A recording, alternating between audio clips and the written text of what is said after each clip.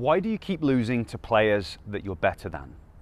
That's what I'm going to be answering and helping you with in this video. And what I'm going to explain to you is going to be really important if you want to improve your game and you want to become a better player. Now, in order for me to help you, I need to be very honest with you and explain the way things work. So the first thing we need to kind of figure out is if in fact you are losing to players that you're better than.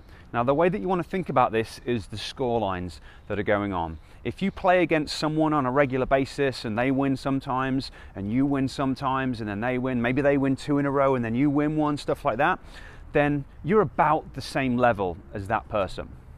If you play against someone and they beat you every single time, so even if they're beating you 7-6 in the third set every time, or it's real close scores every time, but they win every time, they are a better player than you. Even if you feel like you're as good as them or better than them, you're not.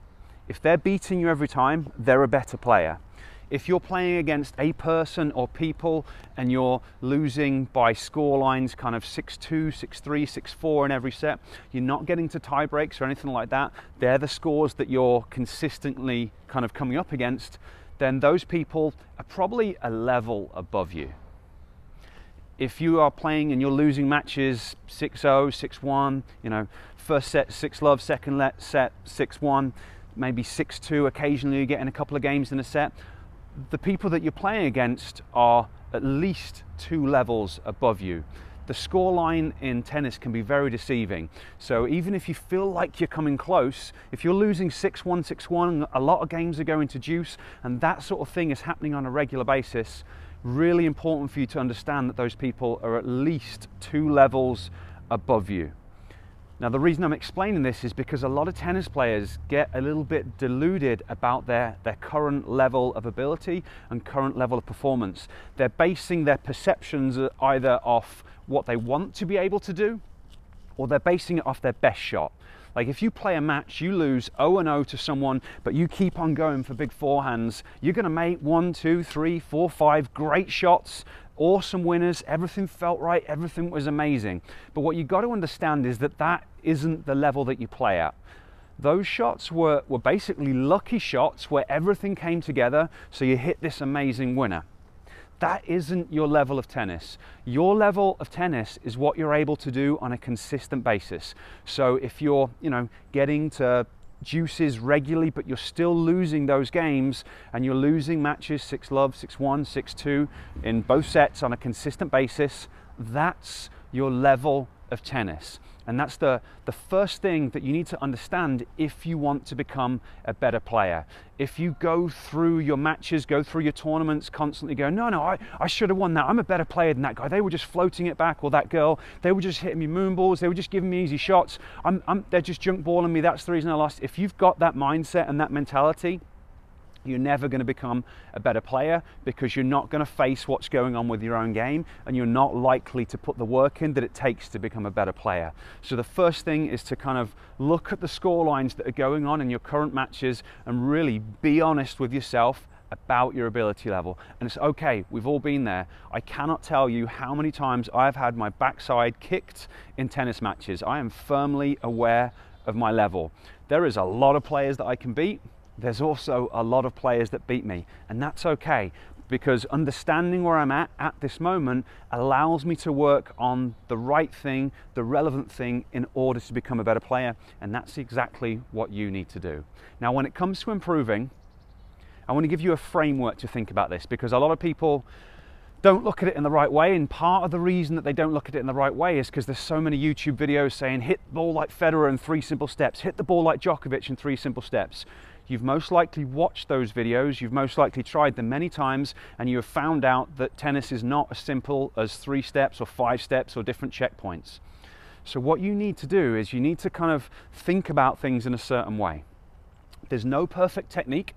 It is all about getting to the ball and then controlling the ball so it goes back down the other end of the court. So the first thing that any tennis player can do to become a better player, and I mean like a, a, properly better player, is to be able to get to more balls. The next thing that's going to be important is your ability to control the ball when you get there. So coordination, your ability to control the angle of the racket head. practicing technique and working on that side of things can be important, but you can only do those things up until you kind of you run into a wall, which is your ability level. So the framework that I want you to think about for improving your game is you need to see like a better player in order to play like a better player. So everything you do on court is based on your visual system reactions, anticipation, when you do your split step, moving to the ball, the way that you prepare, your positioning, your spacing from the ball, the timing of your shot, watching the ball onto the strings, that's all based on how your visual system is functioning. So in order to become a better player, you need to kind of work on your visual system and improve it and that is kind of one of the biggest things that every player can work on to become better. The next thing is you can improve your movement.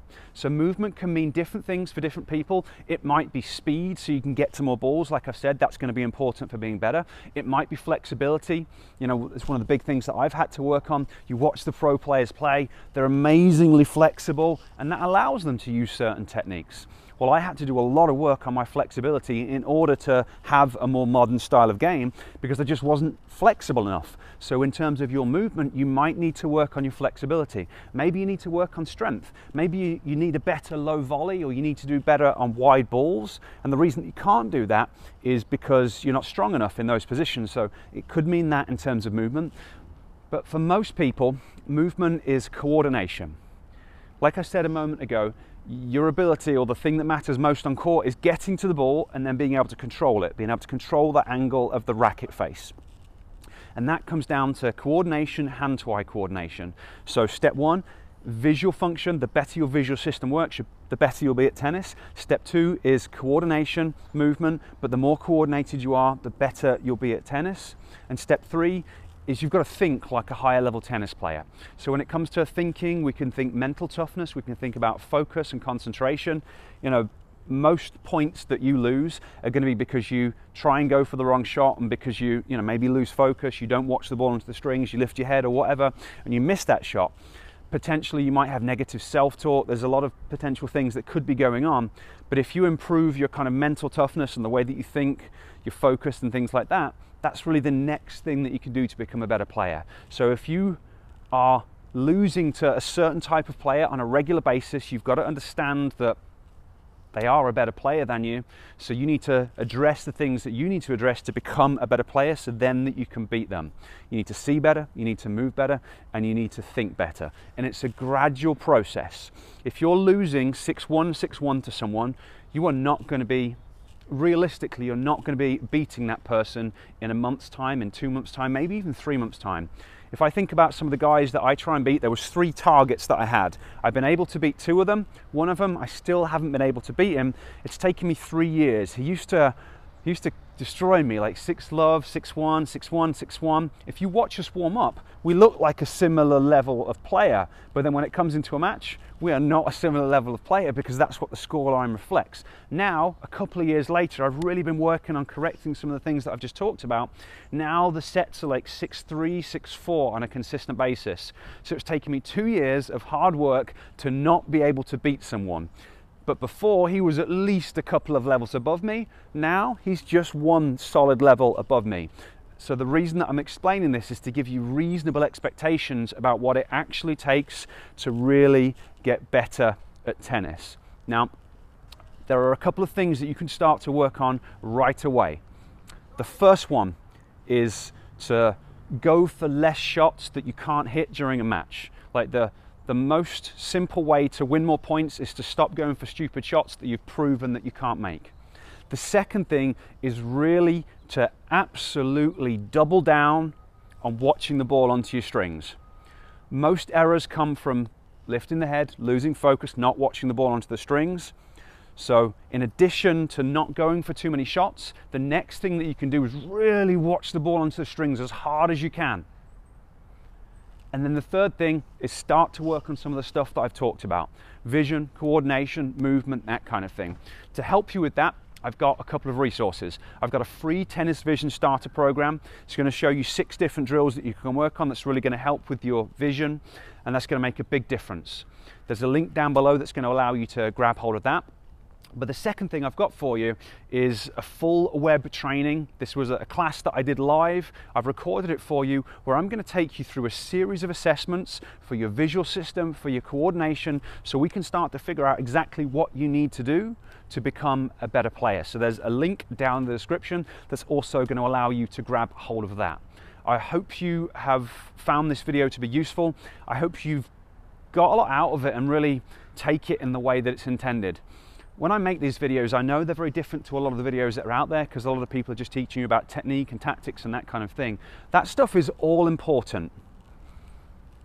But tennis is a complicated game. It's frustrating, it's hard, there's a lot that goes into it, and a lot of players just simply don't have the capabilities of playing at the level that they think they should be able to or the level that they want to. And that is stuff that you can change, but you've got to work on changing it. So I make these videos to try and help you to try and understand what you really might need to do rather than kind of pretending that, yeah, if you just go out and practice this thing over and over again, you'll get better. Because what normally happens if you try and do something over and over again that your body's not capable of doing, most players get injured. So my goal is to give you information that you can use to get better and hopefully not get injured so you can keep playing, keep on improving your game. So hope you found this video helpful. If you did, give me a thumbs up. If you got any questions or comments, leave them down below. And uh, I hope you get that vision program and I even more hope that I see you on that training.